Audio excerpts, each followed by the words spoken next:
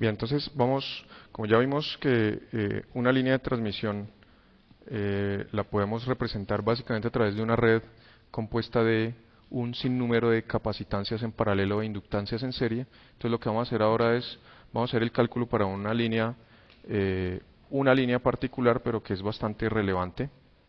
Entonces vamos a estudiar la, la línea coaxial y vamos a ver cómo se hace el análisis bajo este método. ¿no? Pues vamos a ver luego un método más general, pero para la línea coaxial es bastante útil. Bien, cuando nosotros tenemos este sistema, pues nos interesa para caracterizarla como eh, línea de transmisión, pues obtener precisamente esos parámetros L y C, que son inductancia eh, por unidad de longitud y capacitancia por unidad de longitud. ¿no? Una vez tenemos esos dos parámetros, pues ustedes saben que podemos obtener la longitud de fase, perdón, la longitud de onda, velocidad de fase y la impedancia característica de la línea. Entonces, pues eso nos resolvería básicamente todo el problema. Entonces, como primera medida vamos a calcular el valor de la capacitancia por unidad de longitud. Ustedes ya han hecho seguramente ese ejercicio, ¿no? No lo han hecho. Bueno, entonces para hacer ese cálculo,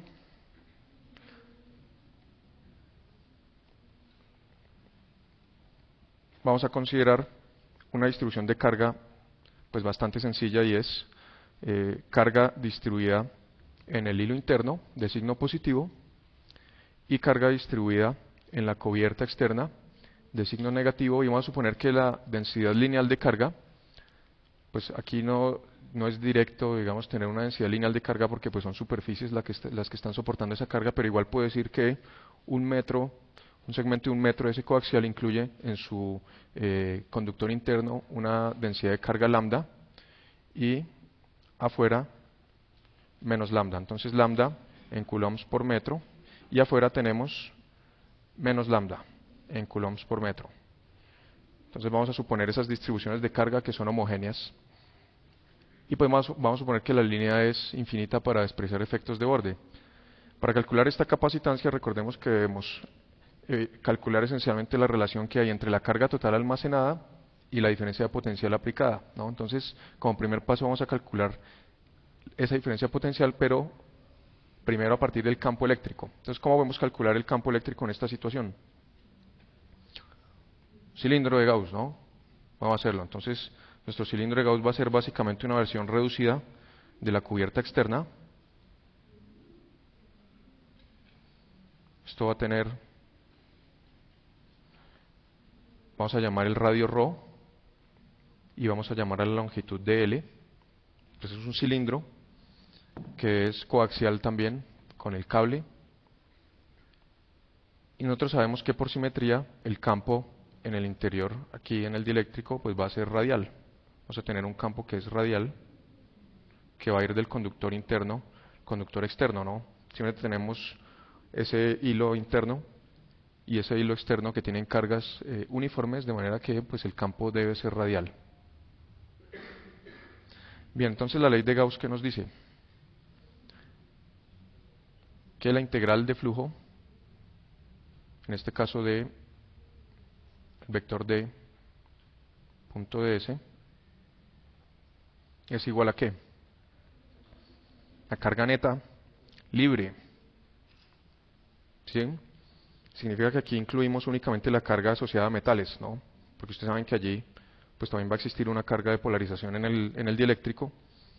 De hecho, por eso es que cuando uno inserta un dieléctrico mejora la capacitancia y es básicamente porque en la vecindad de esas cargas positivas que tenemos en el hilo interno se generan cargas negativas en el dieléctrico, resultando en una carga neta eh, menor y así un campo menor también, de manera que con el mismo voltaje, en este caso estoy, en capacidad de almacenar más carga, ¿no? Pero entonces, cuando estamos usando el vector de desplazamiento eléctrico, únicamente consideramos cargas en el metal, no más. Bien. Aquí por simetría, pues sabemos que E es totalmente radial, de manera que esto equivale básicamente a calcular el epsilon del material, es decir, epsilon 0 por epsilon r, por el vector E radial, por la superficie a través de la cual está fluyendo ese vector, que es únicamente la cara lateral del cilindro. Las tapas pues no tienen, no presentan flujo porque precisamente el campo allí es tangencial a esas caras. Entonces, la cara lateral de ese cilindro, ¿qué superficie tiene? Entonces sería el perímetro, 2pi por ρ, y por la longitud por dl. Esa es la superficie. Y nuestro campo radial, perdón, es sub rho, pongámoslo así, es sub rho, sería el campo se fuera. Y la carga neta contenida allí es únicamente la que tenemos para el conductor interno. ¿Sí? Entonces, fíjense que este es uno de los casos en los que el conductor externo no genera campo en su interior, y es debido pues, a la simetría del problema. Entonces aquí tendríamos lambda por dl. Bien. Si las cosas, entonces nuestro campo radial es sub rho, se escribe como, ustedes ven aquí que ese factor eh, desaparece, ¿sí? Eh, aquí escribiríamos entonces 1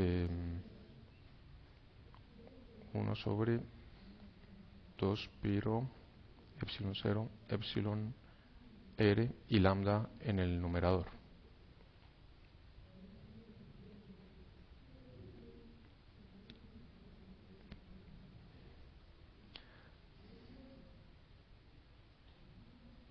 Bien, entonces aquí tenemos esa expresión para el campo eléctrico. Si queremos hallar el potencial, porque recordemos que nos interesa en este momento es hallar la diferencia potencial entre, esas dos, entre esos dos conductores, entonces cómo calcularíamos el potencial de un punto dado y, sobre todo dónde ubicaríamos nuestra referencia. Recordemos que el potencial pues allí está sujeto a una referencia arbitraria. Entonces, eh, por convención y por facilidad vamos a ubicar nuestra referencia aquí, en el conductor externo. Vamos a suponer que va a funcionar de tierra. En el interno pues va a viajar la señal. Entonces, nuestro potencial en función de ρ, ¿cómo se escribe? la integral de línea, ¿sí? entre 0 y ρ Aquí fíjense que uno puede hacer la integral de línea siguiendo la trayectoria que quiera, pero dado que el campo eléctrico tiene componente ρ únicamente, entonces ese es el único desplazamiento que cuenta, el desplazamiento en ρ. Si yo me desplazo a lo largo de phi, el potencial es constante. Entonces podemos hacer simplemente este cálculo, no es desde, perdón, desde 0, sino desde, en este caso, b, desde b, ¿sí? hasta el punto ρ, ¿sí? Y tendremos aquí de erro punto de rho. Entonces hasta ahí parecería correcto. ¿El signo es correcto o no?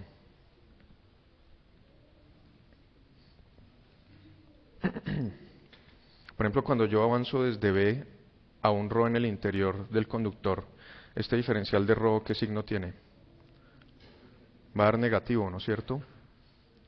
R pues es positivo, lo vemos aquí porque lambda, como está definido, es una cantidad positiva, entonces esto nos va a dar negativo. Entonces fíjense que pues debemos simplemente recordar que la diferencia potencial es menos la integral de línea del campo eléctrico, ¿no? Entonces para garantizar la coherencia de los resultados aquí el signo debe ser menos, simplemente porque estos dos R y de ρ están en direcciones contrarias, estamos teniendo aquí. Bueno, entonces esto nos queda como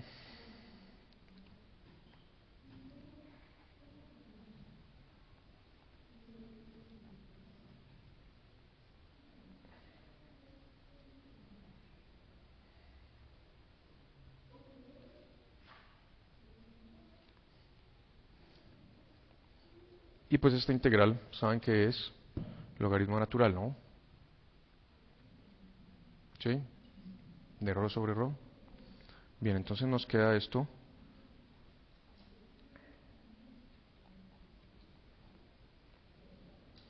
Y aquí tendríamos básicamente punto final sobre punto inicial. Y podemos cambiar el signo invirtiendo el denominador. Bien, es decir, el logaritmo de 1 sobre algo es menos el logaritmo de ese algo, entonces nos queda lambda sobre 2pi epsilon 0 epsilon r por logaritmo natural de b sobre ρ. Entonces este sería, este sería nuestra, nuestro potencial y fíjense que satisface esa condición impuesta de tener potencial cero en ρ igual a b. B sobre B1, logaritmo natural de 1, 0. Entonces nos queda ese potencial. Entonces la pregunta que nos hacemos ahora es, ¿cuál es la relación entre carga y diferencia potencial? Sin embargo, recordemos que aquí queremos calcular no un valor de capacitancia absoluto, sino el valor de capacitancia por unidad de longitud. Entonces hablaríamos nuevamente de no carga total, sino carga por unidad de longitud. De manera que escribámosla de esta manera, S sobre L se escribiría como Q por DL, o la carga total incluida allí, ¿sí?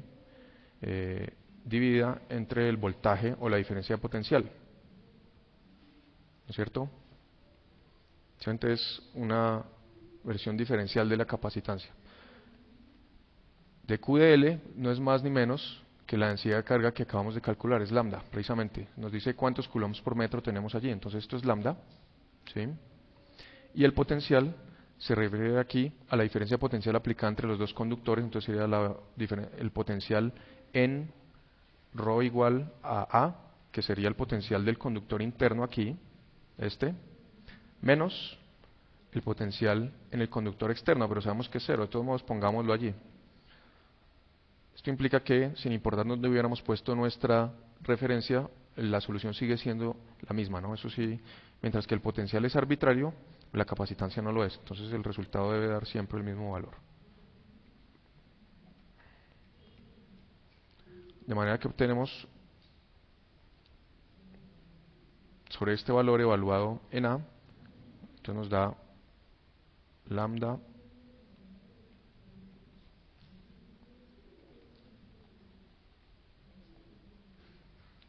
Entonces este sería nuestro valor de capacitancia por unidad de longitud.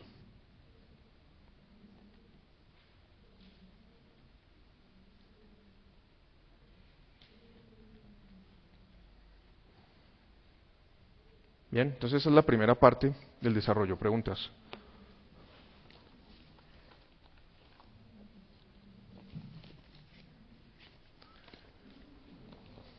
Bien, el segundo paso es calcular la inductancia por unidad de longitud.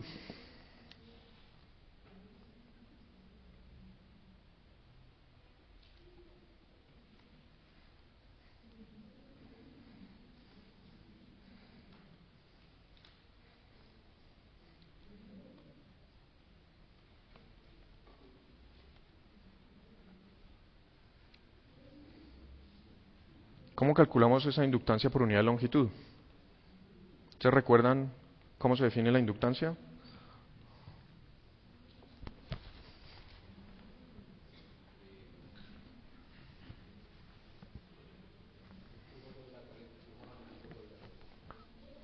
Exactamente, flujo sobre la corriente, ¿no? Entonces, lo que nosotros debemos calcular aquí es la inductancia está dada como el flujo magnético sobre la corriente. Recordemos que ese flujo magnético pues es una integral sobre una, la integral del campo magnético sobre una superficie, es decir, va a ser la integral sobre eh, una superficie que es está básicamente delimitada por un contorno, es decir, no es una superficie cualquiera, tiene que ser una superficie delimitada por una curva cerrada, ¿sí? Entonces, eh, vamos a escribir aquí de una vez la expresión, y aquí tendríamos la corriente. Bien. Entonces nuestro problema aquí eh, se limita a determinar cuál es esa superficie, ¿no? ¿Cuál es la superficie de interés? Entonces nuevamente debemos suponer una situación bastante sencilla eh, y es, vamos a suponer, pues que en este caso tenemos una corriente en el interior, conductor interior, ¿sí? Vamos a llamarla I, esa corriente.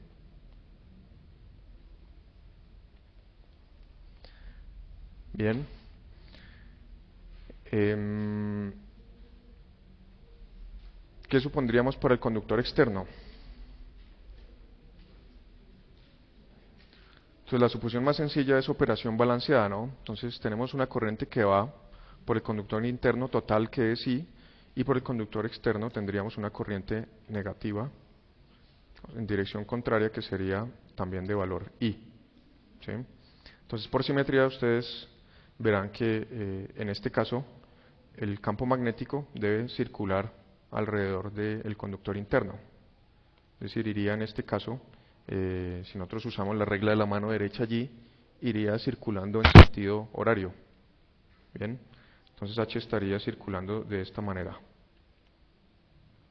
Bien, entonces ¿cuál sería nuestra superficie de integración allí? Si nosotros nos, imaginamos este cilindro coaxial terminado con tapas metálicas a los dos lados, dibujemos una sección aquí, entonces mejor... Eh,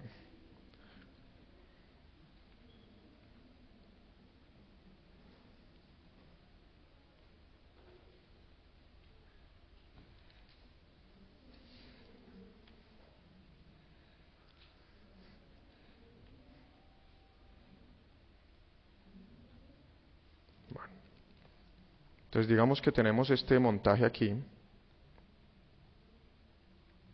Ya casi, ya casi. Bueno. Pasa que las líneas, bueno, no están conectadas. Entonces...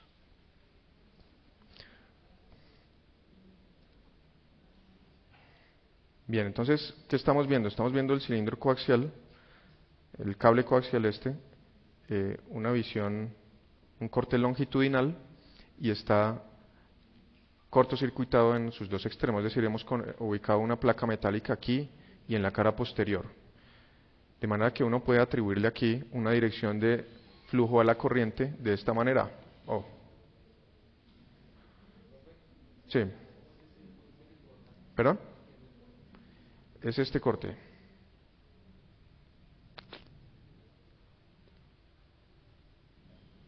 Hacerlo en este.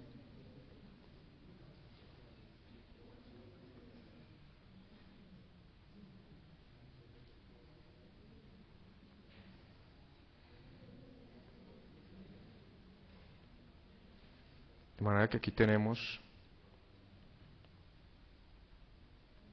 2A, aquí tenemos 2B, entonces hemos hecho un corte así horizontal y para facilitar un poco lo que vamos a hacer, vamos a imaginarnos que ese circuito, ese cable coaxial está cerrado con tapas metálicas de manera que se establece continuidad entre el cable interno y el cobertor. Entonces en este caso, si uno se imagina la corriente que está fluyendo allí, si queremos ver esto como un inductor, pues básicamente tenemos que la corriente bajo esta convención está haciendo algo así, está haciendo este loop de corriente. Lo que pasa es que lo está haciendo así en cada plano que uno elija que pues incluya este conductor interno, ¿no? Simplemente definir ahí por arbitrariamente el plano horizontal, pero puede ser el plano vertical, basta que incluya el eje, en este caso el cable interno, ¿no? Entonces aquí de pronto sí es más claro ver cuál es esa superficie de integración a través de la cual calcularemos el flujo del campo, ¿no es cierto? Y es básicamente esta superficie que tenemos aquí. ¿sí? Esta superficie es la que nos va a determinar el flujo total de campo magnético y es ese flujo el que va a determinar cuál es la reactancia de este elemento al cambio de esa corriente. Bien. Preguntas.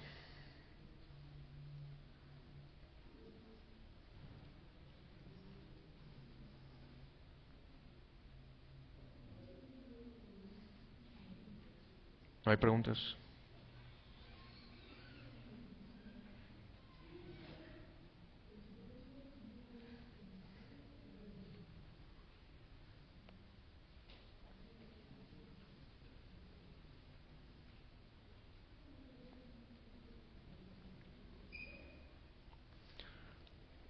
Bueno, ¿cómo calculamos ese campo magnético allí? Entonces, por simetría el campo en esta dirección de rotación va a ser de magnitud constante. Entonces, ¿cómo podemos calcular ese campo?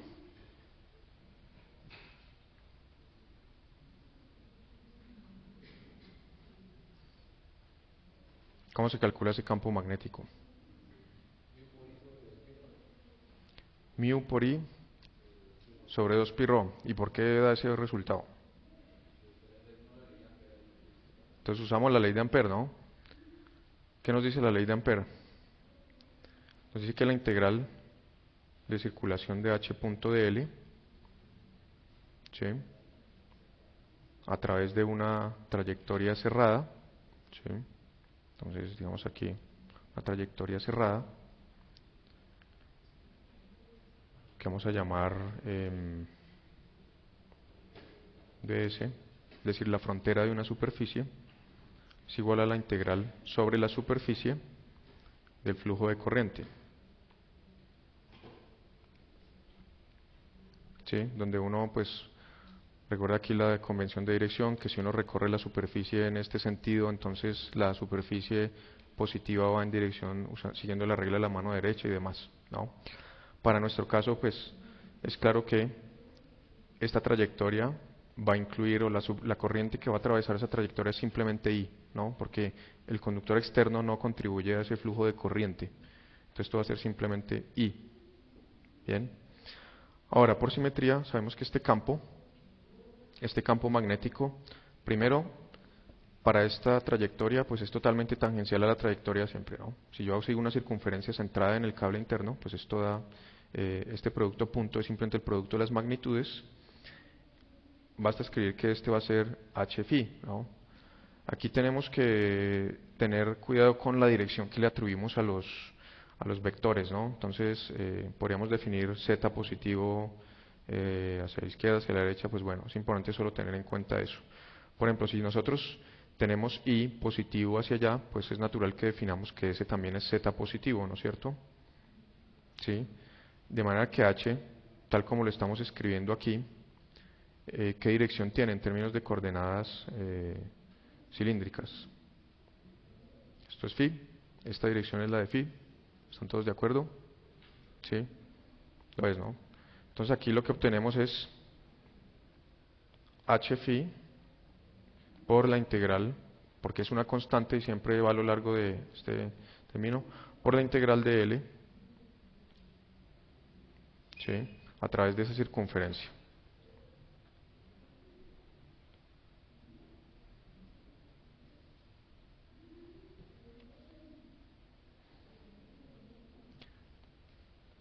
y esto nos da 2pi por rho, simplemente el perímetro de esa circunferencia, por h phi, y esto es igual a i. Entonces obtenemos el resultado que nos mencionaba su compañero y es i sobre 2pi rho. Bien, que si ustedes se dan cuenta, en realidad es independiente de lo que tengamos en el conductor externo. O sea, la, corriente en el conductor externo Basta que sea homogénea, no produce campo en el interior. Lo que pasa es que sí cambia drásticamente la situación afuera del coaxial. Porque cuando nosotros hagamos la trayectoria afuera del coaxial, esta selección de corrientes nos da corriente neta cero y eso permite que el campo fuera sea cero. ¿sí?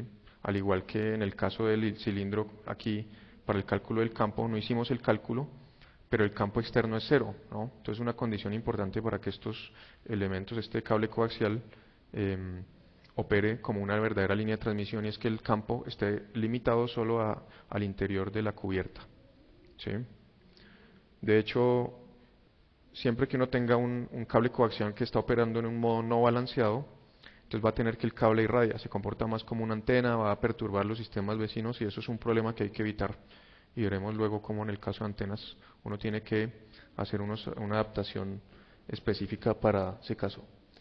Eh, tal vez deberíamos ver el tablero, ¿no? Ustedes. Wow.